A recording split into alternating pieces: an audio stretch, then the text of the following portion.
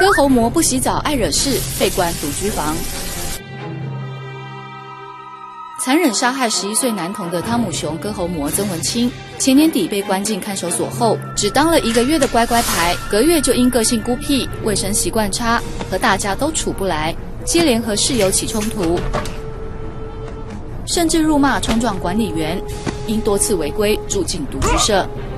他因为不爱洗澡，全身都是皮肤病，管理员还得替他洗澡擦药。作息也不正常，房间内就像狗窝，常得派专人整理，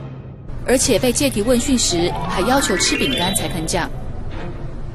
管理员无奈地说：“对他就像服侍大少爷般无微不至，考量他不善与人相处，目前仍让他住隔离舍。”动新闻台南报道。